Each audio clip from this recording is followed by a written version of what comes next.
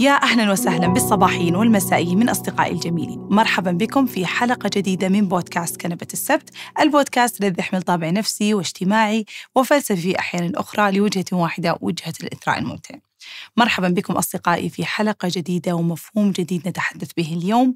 وقبل لا نتكلم عنه طبعا آه، مرة نحتاجكم في هذا الشيء. وأصلا من الحلقة اسمها تضامن. نبغاكم تتضامنون معنا في آه، تعبئة استبيان في وصف الحلقة. هذا الاستبيان نحتاج أنه تساعدونا آه، في معرفة ماذا تريدون من البودكاست أو إيش نوع البودكاست اللي تحبونه أو أو إلى آخره. سيخدم هذه المنصة الرائعة وهذه الشركة الرائعة آه، مايكس آه، بأنها تصل بكم أو تصل إليكم إلى بودكاستات ترغبون فيها أكثر أو حتى إلى مواضيع ومحاور آه، ترغبون فيها أكثر وأكثر. فستجدون في وصف الحلقة هذا الاستبيان. عبوه وساعدونا وتضامنوا معنا.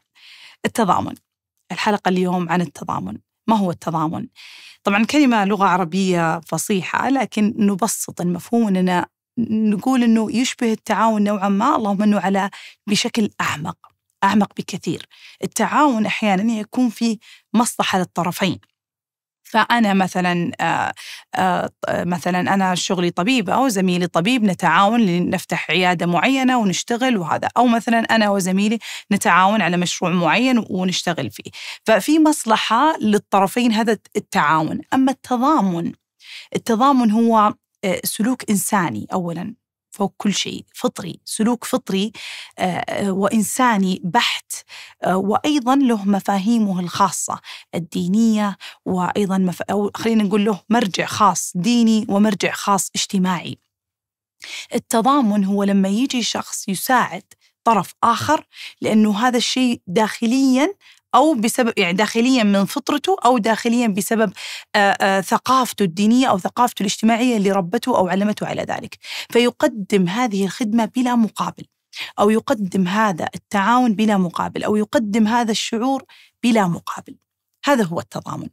وطبعا أشكال التضامن كثيرة جدا لكن لازم نفهم أول يعني ببداية المفهوم هذا نفهم أنه التضامن هو سلوك فيدرب. ويدرس. هو طبعا قبل كل هذا هو يتربى عليه الإنسان. فحتى لو لم يعني يتعلم هذا الشيء منذ الصغر هو سلوك. هو سلوك إنساني إحنا ندرب نفسنا عليه. إحنا نشجع أنفسنا عليه.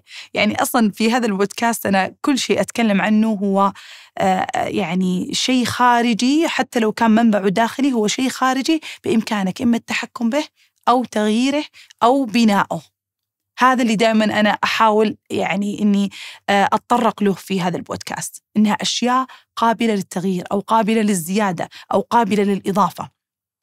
فالتضامن هو سلوك إنساني يعني سلوك إنساني من المهم جدا إنه يكون في أفراد المجتمع ليكون هنالك تضامن اجتماعي كامل.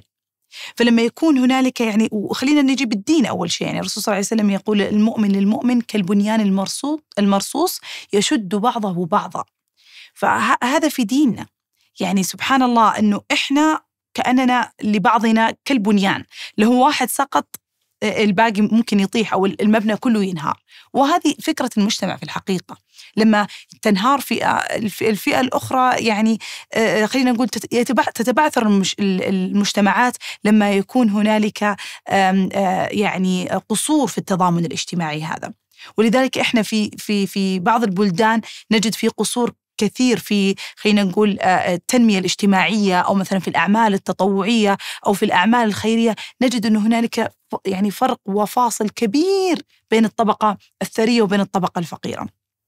لأن هنالك في قصور. طبعا غير المواضيع السياسية والاقتصادية اللي تكون هي مشكلة أكبر. طبعا نكون واقعيين. لكن أيضا هذا الفارق يشكل يعني بشكل كبير جدا اللي هو موضوع وجود أشخاص لو فرد أو فرد يعني آه، فرد أو فردين أو جماعة آه، قصروا في في تضامنهم الاجتماعي بشكل أو بآخر سنجد أن هذه المجتمعات تتخل يعني للأسف للأسف يصير فيها خلل ولا تصبح مجتمعات آه، خلينا نقول متضامنة وبالتالي يقل فيها نسبة البطالة يقل فيها نسبة الفقر ما حتكون كذا بتكون العكس تماما.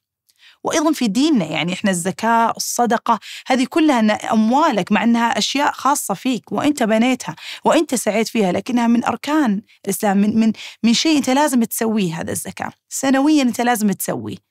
الصدقة يعني لها أجور عظيمة وأحاديث كثيرة فيها. فقط عشان أنت آه، سبحان الله لما تطلع من مالك أنت قاعد توازن هذا المجتمع قاعد توازن هذه البيئة بشكل بشكل كبير جدا. أنت ما قاعد تشعر بذلك. البعض يعتقد أنه الزكاة خلاص شيء دوري وما يستشعر فيها حتى. وما يفهم إنه إنه وجود الزكاة قاعد يوازن هذا المجتمع وقاعد يخفف بشكل كبير وجود الفقراء في هذا العالم. فوجود هذا التضامن في الزكاة والصدقة وبنجي في موضوع أيضا التطوعات والدخول في حتى مو شرط التطوع لكن في الدخول في الأعمال أو الوظائف اللي فيها تنمية اجتماعية كبيرة هذا يعني يرجع بالمجتمعات بشكل كبير ويرجع لك كفرد بمشاعر خلينا خلينا نقول مشاعر إيجابية ترفع بك وترقى وترقى بك وترقى بك سبحان الله يعني أصلا زي ما قلت هو سلوك إنساني. سلوك فطري يحتاجه الإنسان. مساعدة الآخر شيء يحتاجه الإنسان. لو جبتهم طفلين قدام بعض وخليت الطفل يطيح والثاني على طول تلقونه يجي يعني يحاول يمسكه أو يحاول يرفعه. لأنه بطبيعة الإنسان هو يرغب بمساعدة الآخر. يميل إلى مساعدة الآخر. لكن في في عالمنا يعني خلينا نقول الجديد وفي هذا العالم المتقدم وكلنا يعني نقع في الشيء. أنا لا أزكي نفسي إننا ننسى الآخرين آه، وإحنا ماشيين في الحياة هذه لأن الحياة تصير سريعة. فتصير أنت يا دوب إنك تلقط أهدافك ولا تلقط أهلك ولا تلقط أصدقائك ولا تدور وقت لنفسك ولا تدور وقت لهوايتك. ما أنت عارف كيف الوقت يجري بدون ما أنت آه، تحصل الوقت للآخرين. فتقول أنا يا دوب في الأشياء المهمة ولي ولنفسي حق ولأهلي حق علي فأنا كيف أحصل وقت للأشياء الثانية؟ لكن بتنصدمون أنه سبحان الله كيف ال ال خلينا نقول الأدوار التطوعية أو الأدوار اللي فيها تضامن إنساني بالعكس تضع بركة في وقتك. والله تخلق بركة في الوقت بشكل غير طبيعي.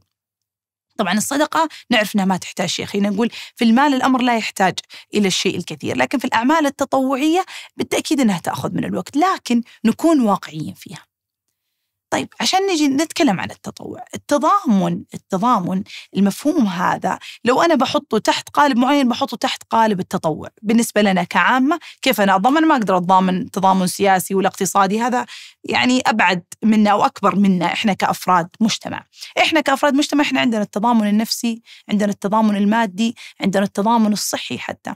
إني أنا لو موظف في الصحة أو أنا أشتغل في في مجال طبي أنا أستطيع إني أنا آه، أساعد مثلا في في العيادات اللي في مناطق نائية تطوعا مثلا مرة في الأسبوع أو حتى لو مرتين في الشهر بس إني أشوف كمية آه، آه، ناس في هذيك المنطقة النائية اللي مو لاقين أحد يعني للأسف أو بعيدة عنهم المدن إنهم يوصلون لها.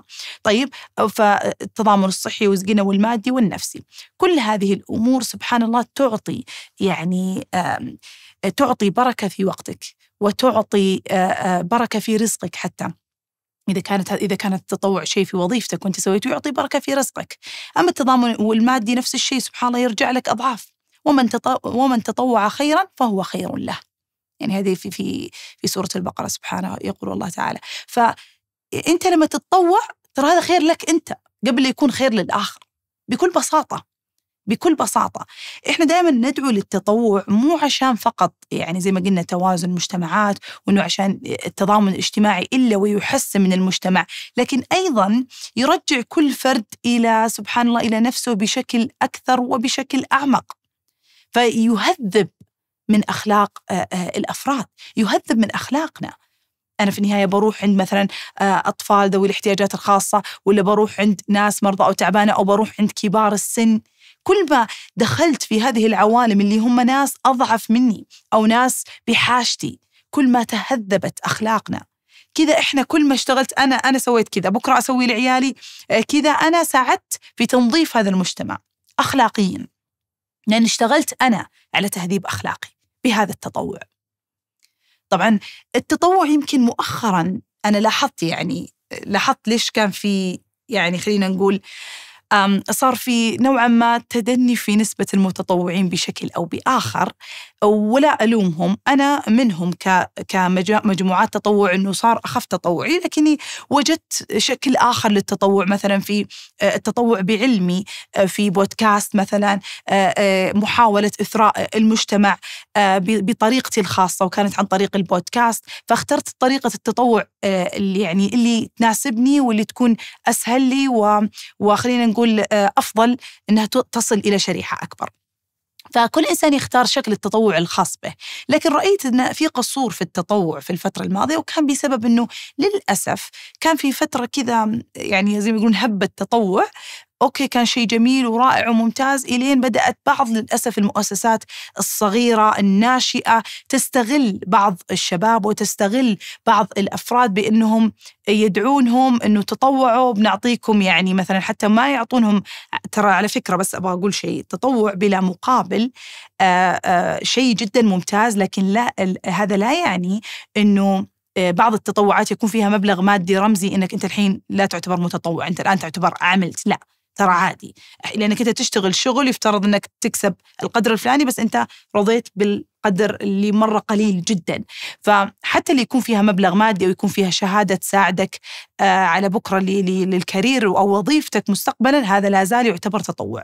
فلا يجيكم شعور تأنيب أو تقول أوه لا أنا يبغى لي أكون نيتي صافية تماما للتطوع لا عادي أنا أخدم هذا. وفي نوعا ما الشيء هذا بيساعدني مستقبلا. لا بأس. أهم شيء أنك أنت في النهاية عندك النيتين أنه مو دائما العمل يكون بنية واحدة متكاملة يعني. لكن بكرة إن شاء الله لما تكون settled وتكون مستقر في وظيفتك وتكون مستقر في مكانك تستطيع إنك تتطوع زي ما يقولون pure pure يعني أنت تتطوع من أجل هذا الشيء وفقط.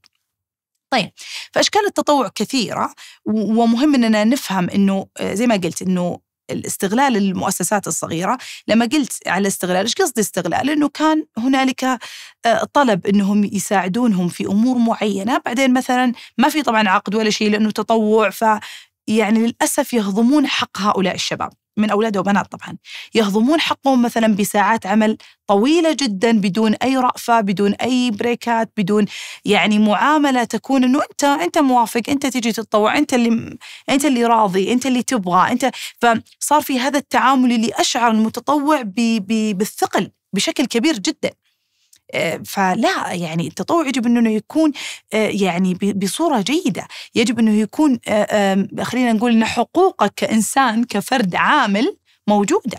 حتى لو كانت تطوع لك الحق في بريك لك الحق في أكل لك الحق في في أنه ما تعامل بمعاملة سيئة لك الحق أنك إذا وعدت بشيء تعطى فهذه الأشياء للأسف لفترة طويلة آه، صار بدأوا الشباب والبنات يقولون لا صار التغل حتى سمعناها يمكن في تويتر كثير صار التطوع استغلال صار التطوع استغلال. فهذه للأسف آه، يعني آه، يعني اللي خلت ناس كثير من المتطوعين إنهم ينسحبون من عالم التطوع أو يشعرون إن عالم التطوع هو عالم مهلك أو متعب بلا فائدة حتى نفسية. يعني يطلعون منهم هم أصلا منزعجين. انت بعد كإنسان شاطر وبالغ وعاقل لازم تعرف إنه لما تدخل حتى العمل التطوعي لازم تعرف إنه هنالك عقد بينكم، لازم تعرف كيف طريقة العمل، أرجع أقول مو أي شيء أنت قاعد تقدمه كخدمة مجانية وتطوع حتى نيتك صافية تماما إنها لله ولوجه الله إنك آه إنه ما يكون هذا الشيء مهني، لا عادي. أنت احفظ حقك بطلب العقد بطلب فهم الموضوع بشكل كامل إيش بالضبط بتعطى إيش بالضبط آه، آآ إيش المهام بالضبط كم ساعة والى آخره. فحتى العمل التطوعي لازم يكون فيه مهنية وفيه احترام لك كشخص. الأعمال التطوعية طبعا أشكالها كثيرة زي ما قلت فهناك التضامن الصحي زي ما قلت التضامن المادي التضامن النفسي. دراسات كثيرة يا جماعة وجدت على موضوع التضامن النفسي مثلا في في علاجات اللي هي اللي عندنا في الطب النفسي اللي يسمونها ال group therapy علاج الدعم الجماعي العلاج النفس أو النفسي الجماعي أو علاج الدعم الجماعي. لما يكون هنالك أشخاص ذو معاناة واحدة ويجلسون في جلسة واحدة وكل واحد يتكلم عن معاناته اللي هي نفسها مثلا كلهم فاقدين. هذه فقدت أمها هذا فقد أبوه هذا فقد أخوه الفترة الماضية. وبحاجة أنهم يتعالجون من هذا الفقد أو يتشافون من هذا الفقد. فالجلسة الجماعية سبحان الله تخلق الكثير من التعاطف. تخلق الكثير من يسمونه الرفليكشن اللي هو شعور أفهم شعورك لأني أنا قاعد أعيش نفس شعورك. أو أني اوه أنا الآن فهمت شعوري لأنك أنت اللي قدامي عبرت عن شعورك بشكل جيد.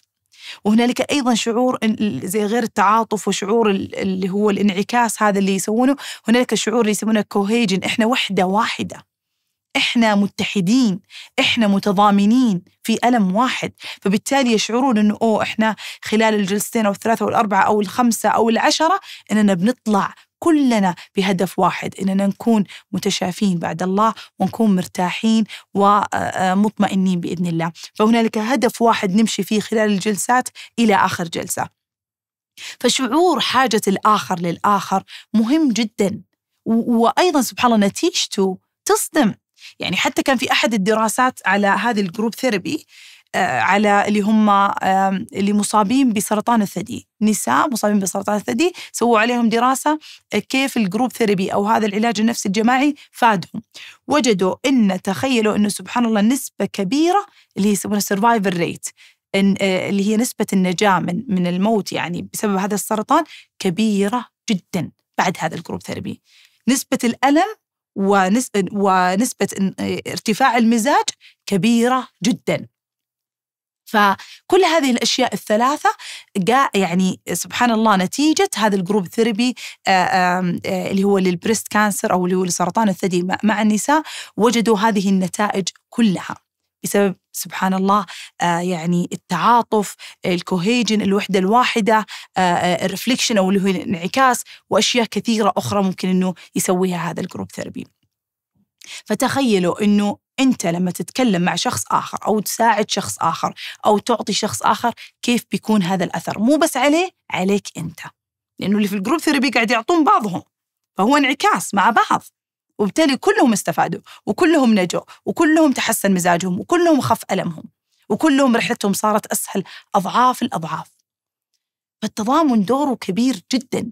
ويعني سبحان الله يعني يعني أنا شخصيا يعني أنا عودتكم إني لازم أقول يعني شيء شخصي لأنه أنا فعليا والله يا جماعة ما أحكي بمفهوم هنا إلا وأنا ألهمت بسببه سويته عملته اشتغلت عليه. فيعني أو إنه رأيت أثره بنفسي.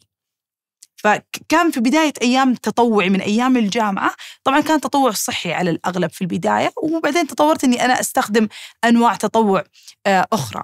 وجدت بركته في حياتي بشكل كبير جدا وكان من أجمل التطوعات اللي سويتها كان مع فريق آه، الهلال الأحمر أو فريق اللي هو الإسعافات الأولية في الحرم المكي. فكان في في مكة. وفي الحرم طبعا. وكنا إحنا أصلا أنا وعائلتي كل عشر أواخر نروح مكة يعني خلاص هذا زي يعني القرآن كذا يعني نشكر أبوي الله يرحمه يعني كيف إنه خلق هذه العادة فينا فخلاص عشر الأواخر هذه مسلمة أمر مسلم لازم إحنا في مكة. ونكون تقريبا تقريبا شبه اعتكاف يعني في الحرم. فلما شفت فريق الهلال الأحمر دائما متواجد وأشوف دائما نساء كذا في مصليات النساء قررت إني أنا أروح أتكلم معاهم. كنت توني في أولى طب يعني كنت صغيرة جدا يعني. فقالوا لي تعالي السنة الجاية إذا تبغين. أعتقد إني سجلت معاهم على ثاني طب أو ثالث طب. جلست معاهم أربع أو خمس سنوات يعني. كل نهاية رمضان كنت أروح معهم. فكانت فكرتهم أنه قبل تقريبا أذان المغرب لأنه رمضان يعني عشر أواخر فقبل أذان المغرب بساعة تقريبا نكون موجودين وفارشين يعني البسطة وطبعا أكيد أنهم متطوع متطوعين يعني لمنصة حكومية معتمدة. فمو حاطين فلوسهم لأدوية ما يدرون وين حطوا الفلوس لا أكيد لشيء معتمد. فبالتالي عندنا إحنا ستورج كامل لأدوية وإحنا جالسين كطالبات طب ولازم عندنا استشارية معانا طبيبة وأيضا عندنا ممرضة هذول الثنتين يكونون فعلا خلاص عندهم شهايد وكذا. البقية إحنا كطلاب طب نعتبر مساعدين آه، في الموضوع. فما إحنا ما نعالج أو شيء لكن إحنا متطوعين ونساعد. نفس الشيء الاستشارية هذه والممرضة كلهم كانوا متطوعين فقط. فمن قبل صلاة المغرب تقريبا بساعة إلين على القيام تقريبا يعني لأنه عشر أواخر. فتقريبا خمس ساعات ست ساعات نكون جالسين في هذاك المكان. الفكرة كانت فقط أنه بعد صلاة المغرب يجون الناس أنا فيني زكمه أنا فيني كذا ونشوف اللي ضغطها مرتفع اللي ما أدري إيه اللي مرة حاله حرجة نحولها و... عيادة صغيرة داخل المصليات. يا جماعة يعني العمل هذاك لو أقول لكم أثره لو أقول لكم شوفوا اليوم أنا طبيبة نفسية ما لي دخل في الإسعافات الأولية ولا لي دخل في الطوارئ ولا لي دخل في الباطنة. لكن كيف هذيك الفترة سبحان الله قدرت عمل الأطباء بشكل يعني كبير جدا. صار عندي تقدير عالي تقدير عالي جدا. هذه هذه من الأشياء اللي أقول لكم كانت داخلي. ثانيا سبحان الله لما تيجي تعالج وتساعد آآ آآ يعني أشكال مختلفة وأنواع مختلفة. أنت لما تكون طبيب في في بلدك أنت بتشوف نادر تشوف خارج. حتى لو كنت مستشفى حكومي يجونك عمالة يجونك نادر تشوف ناس خارج السعوديين أو حتى العرب أو الخليجيين. هناك تشوف كل شيء. تشوف عادي من أف من أفريقيا تشوف فجأة من شرق آسيا تشوف فجأة من أمريكا تشوف كل الأنواع كل الأنواع من البشر أو كل الجنسيات وكل الألوان أنتم تشوفونها. فهذا التقارب وهذا التضامن سبحان الله يخلق كذا وحدة إنسانية ويخلق مشاعر إنسانية كبيرة جدا. في هذيك الفترة ما كنا إحنا بس نعالج كنا نتعرف ونتفا... يعني نتفاهم معهم بلغاتهم ونحاول نصل نصل لهم أو نصل للشيء اللي هم يبغونه بلغاتهم ويلا واشتغل يا جوجل ترانزليت واشتغل وقصص وأشياء يعني فكاهية تحصل بشكل ما نتخيله. يعني حتى يعني كان عندنا صعوبة حتى مع الجزائريين حبايبي والمغربيين اللهجة كانت صعبة. أنا طبعا أحبها جدا فكنت أنا الفهيمة بينهم. فكنت يعني نطلع المعاني اللي ما إحنا فاهمينها ونساعد بعض. ف التجارب هذه مو بس خلقت مساعدة للآخر وساعدناهم في وقت حرج. ترى واحدة داخل الحرم وزكمة شديدة وصداع شديد ما هي قادرة تطلع معتكفة من أربع خمس أيام ما هي قادرة تطلع تجيب فلما يجي أحد لا والله تعالي نعالج يكون ساعد وخذي هذا الدواء وهذا يخفف وهذا يخفف. يا الله كيف كيف الشعور اللي اللي خلقناه فيها. يا الله كيف الراحة اللي وهبناها إياها. فكل مرة نستشعر هذا الشيء يجي شعور جميل لكن أنا كنت أستشعر برضو شيء آخر إنه أنا قاعدة أتعلم من هذه التجربة. أنا في عمر صغير لسه ما وصلت إني أكون طبيبة ما وصلت هذا أنا قاعدة أتعلم كيف أتعامل مع المرضى. الصعبين يعتبرون لأنه في يسمونها اللانجوج بارير يعني في حاجز الفهم. أنا مو قادرة أفهمهم ولا قادرين يفهموني. فأنا قاعدة أتخطى صعاب أكبر مني. فهذه التجارب تخلق في شخصك الكثير تخلق الصبر تخلق ال ال آه زي ما قلت اللي هو التفاهم والانسجام مع أي شخصية أخرى ممكن تقابلونها. طبعا غير اللي ممكن يعني تجيك أشكال ناس معصبة ناس تصارخ عليك ناس يعني تشوفون أنواع شتى وأنت وأنت تتطوع تبدأ تتعلم كيف تتعامل مع الإنسان. لأنك أنت في النهاية بتتطوع مع الإنسان. فتعرف كيف تتعامل أكثر وأكثر وما الحياة إلا كذا. انت بكرة تتزوج معك إنسان تجيب عيال أفراد إنسان كلهم اوادم كثيرين في حياتك إن شاء الله. فبكرة العمل مديرك إنسان زميلك إنسان كل الإنسان زي ما دائما أقول تجربة الإنسان واحدة في هذا الكون ومشاعر الإنسان واحدة في هذا الكون. أنت بس لازم تفهم وتعرف كيف تصل إلى فهم أكثر وأكثر لهذا الإنسان. عبر التطوع التطوع يخلق تجارب داخلية. وأنا اليوم مو أبغى أعزز فكرة إن التطوع فقط لتطويرك الذاتي لأن كذا أنا بقتل فكرة يعني بقتل فكرة إن إن التطوع من أجل روحك أكثر من كونه من أجل تطويرك الشخصي من أجل عملك من أجل حياتك. لا هذا طبعا من الأشياء اللي أنا شعرتها وأنا أشاركها إياكم لكن أنا أشجعه كتطوير روحي كشيء روحي لك. يعني حرفيا كان كان الشعور شعور الإنجاز، شعور السعادة، شعور السلام والبركة طبعا، سبحان الله اللي ربي يعطيك إياها في يومك كانت مختلفة أيام تطوعي في الحرم. جدا مختلفة. يعني شوفوا أنا ما أقول لكم العبادة في الحرم رائعة وإحنا ترى بين الشغل خلاص يبدأ القيام نصلي بس في ناس توقفنا في وقت القيام ونترك الصلاة شوية ونساعدهم ونرجع نصلي عادي. لكن بعدها مثلا الثلاث سنوات الماضية ما اشتركت ويعني لظروف وما اشتركت يعني معاهم. أنا أقول لكم مختلفة. مختلفة عن عن السنوات التطوع اللي قبل. لأنه صارت الحمد لله أكيد عبادة وأكيد كذا لكن سبحان الله التطوع أضاف لها روح أضاف لها حياة. ففعلا زي ما يقول الله سبحانه وتعالى فمن تطوع فهو خير فمن تطوع خيرا فهو خير له. خير لك أنت بشكل ما تتخيل. ما هو خير فقط مادي خير روحي خير فيه بركة. أشياء كثيرة آه، تخلق الروح لك. بعدها جربت تطوع يعني قريب آه، كان تطوع أنا دفعت له عشان حتى التطوع. يمكن تعرفونها إننا نسافر في منطقة آه، مثلا زي في مناطق أفريقيا ونساعد في بناء مثلا مدارس نساعد. فحبيت إني أعمل شيء بيدي. دائما أتطوع مثلا في الطب وفي الصحة وفي هالأمور لكن قلت خلنا أجرب شيء أبغى أبغى أشقى. أبغى يكون في مشقة وتعب. أحس إني أبغى يعني هالشيء. فجربت إنه أنا أبني مدارس في في مدرسة أفريقية وأساعد في البناء. طبعا أنا اعتقدت أنه مساعدة يعني بما أنه بنت يعني بيستحون يعني بيعطوني شيء خفيف ودلع لكن الوضع كان حقيقي يعني. فكنا حرفيا يعني نخلط الاسمنت مع ال مع ال آه، مع الرمل والماء ونسوي اسمنت و... ونبني يعني حقيقي قاعدين نرمم فصول دراسية. فكانت تقريبا من ثمانية لوحدة الظهر كل يوم تحت الشمس و... وأثقال ونشيل طوب ونحط. لكن ما أحكيكم تجربة أنا دفعت فيها وأنا قاعد أشقى فيها وأنا قاعدة يعني كيف أقول لكم كأني رايحة جيم كل يوم يعني. ف متعب كان جدا ومرهق جدا لكن رؤية الأطفال من حوالي في في في المدرسة لأنهم يجون يشوفونا وإحنا نشتغل رؤية هذا التأثير آه، في وجوههم إنه فصلهم قاعد يترمم بشكل كبير وقاعد آه، قاعد يكون شكله أفضل وسوينا أيضا ممر لأنه كانوا الأطفال يطيحون يعني يعني ممر يودي من فصل إلى فصل كانوا رمال محفورة وحجار وكذا فسوينا زي الرصيف. ف شعور أصلا العمل الجماعي والتضامن الجماعي مع المجموعة والعمل في آه، يعني آه، العمل في مدرسة مثل هذه آه، ينظرون الأطفال لنا بنظرة بنظرة المنقذ بنظرة المساعد بنظرة الشكر والامتنان. يا الله يعني شعورها مو عادي وحتى مع إن إحنا ما ننتظر إحنا ما ننتظر يعني بالعكس إحنا كنا إحنا اللي قاعدين نجيب لهم حلاوة وهدايا لأنه إحنا مستمتعين معهم. وكانوا يرقصون لنا ويغنون عشان يبغون يشجعونا فإحنا كنا المستفيدين 100% منهم. ولا كنا ننتظر شكر أو عرفان لكن ما تقدر ما تقدر تشيح عينك عن نظرة الامتنان والعرفان اللي يعطونك إياها. ولا تقدر ما تتأثر وتسعد وتمتن وتشعر براحة كبيرة. يعني حتى أتذكر هذه التجربة آه، قررت أني أسويها في ثاني شهر من مرض أمي الله يرحمها وكانت مستقرة على العلاج وبدأت أمي بالعلاج لكنها كانت فترة صعبة. ف...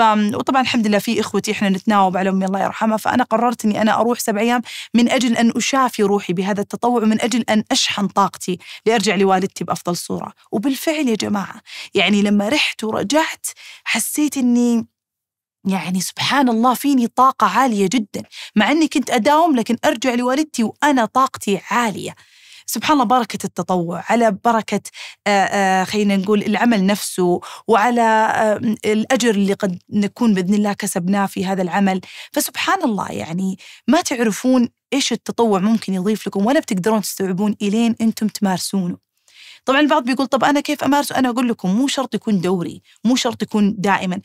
بس حط في راسك إنه على الأقل في السنة مرة واحدة لو مرتين.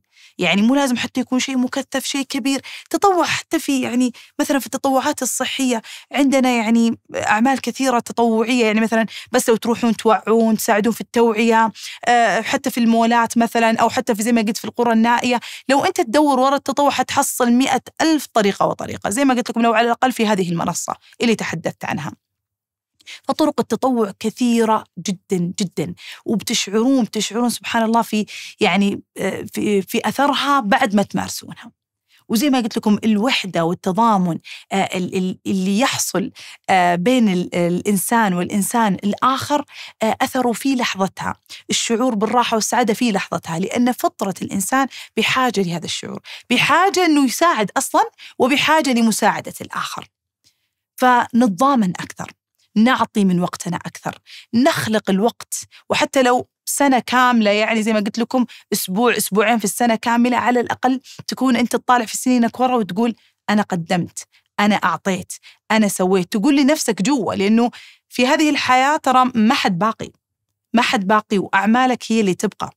وأرجع أقول أنا ما أفرض التطوع. التطوع لازم يجي من طيب خاطر. لكن يعني سبحان الله لما فكرت في الموضوع هذا قلت أنا لازم أتكلم عنه لأنه أنا شفت كيف الناس في التطوع بدأت مرة تخف بدأت مرة تقل بدأت مرة ما تبغى تعطي بدأت تشعر أن كل شيء لازم له مادة ولازم شيء مادي والعالم والحياة صارت تتطلب ذلك للأسف. لكن أنا أقول لكم صدقوني أنتم بحاجة للعمل التطوعي أكثر من أنه الأعمال التطوعية بحاجة لكم. فأتمنى منكم أنه تتضامنون أكثر مع مجتمعكم مع الأفراد في مجتمعكم لتصلون إلى شعور آه، رائع جدا شعور مليان سلام ومليان تقدم في شخصك ومليان ارتقاء في روحك بإذن الله. أتمنى أن تكون الحلقة هذه وصلت إلى قلوبكم وأرواحكم بكل يسر وسهولة وإلى حلقة قادمة وإلى اللقاء.